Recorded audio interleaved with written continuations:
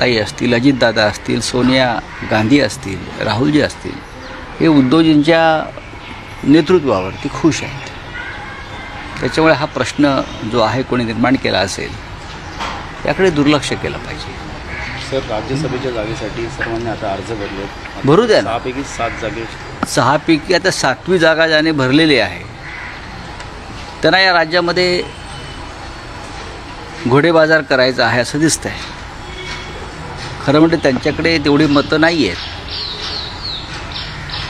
मतं जर असतील तर त्यांनी नक्कीच संभाजीराजे छत्रपती यांना उमेदवार केला असतो. पण आधी छत्रपती संभाजीला पाठिंबा द्यायचा प्रयत्न केला. त्यांना सहाव्या जागेसाठी उभं करण्याचा प्रयत्न केला भारतीय जनता पक्षाने. आणि मग त्यांना वाऱ्यावर सोडलं. आणि आता कोल्हापुरातून एका दूध आणि साखर सम्राटाला त्यांनी उमेदवारी दिलेली आहे. पण हा त्यांचा प्रश्न आहे. मला आश्चर्य वाटतं आहे की दोन्ही उमेदवार जे आहेत राज्यसभेचे हे भाजपचे नाही आहेत ते बाहेरचे आहेत. दोन्ही जे निष्ठावान आहेत भारतीय जनता पक्षाचे जे संघ परिवाराशी संबंधित आहेत जे वर्षोनवर्ष काम करत आहेत त्यांना डावलण्यात आल्याचं मी वाचलं. आणि जे इतर पक्षातून आलेले आहेत आणि ते फक्त शिवसेनेवरती किंवा महाविकास आघाडीवर चिखलफेक करत असतात.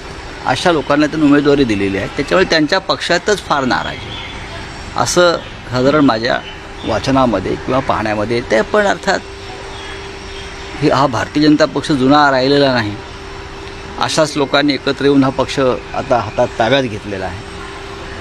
आमच्याकडे शिवसेनेमध्ये आम्ही निष्ठावंत कार्यकर्त्यांना उमेदवारी दिलेली आहे. बताइए क्या है? सर हिंदी में जाना चाहेंगे एनसीपी के कार्यकर्ताओं से जो मांग की जा रही है सुप्रिया सुले जी है। मुझे देखो आप जो बात बोलते हैं उसमें कोई तथ्य नहीं है।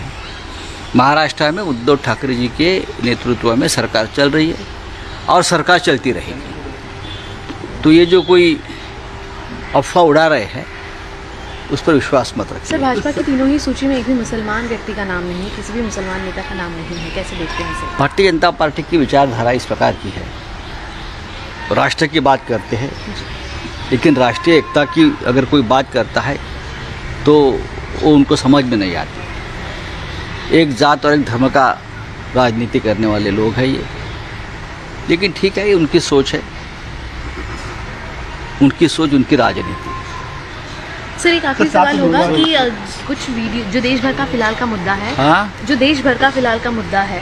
काफ़ी ज़्यादा हिंदुओं से जुड़ा हुआ है कि ज्ञान व्यापी के जो वीडियोस बाहर आ रहे हैं उसमें स्वस्तिक है कई सारी ऐसी मुझे मालूम नहीं मैं उसके ऊपर बात नहीं करूँगा न्यायालय में मुद्दा चल रहा है जब तक न्यायालय में उसका हेयरिंग पूरा नहीं होता है तब तक उसका ऊपर बात करना ठीक नहीं। सर संभाजीनगरमध्ये आठ जूनला सभा होणार आहे बैठक आज होणार आहे. कशा प्रकारची शिवसेनेची तयारी झालेली आहे आणि रेकॉर्ड ब्रेक असणार आहे? नक्कीच संभाजीनगरची सभा शिवसेनेची ही नक्कीच रेकॉर्ड ब्रेक असते. आठ जूनला माननीय उद्धव ठाकरे जातील. आणि संध्याकाळी ती सभा आहे.